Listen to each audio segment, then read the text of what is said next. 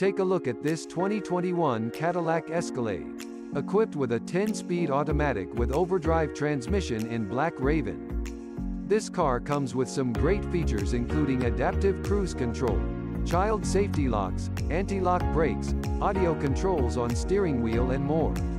Come in and check it out today.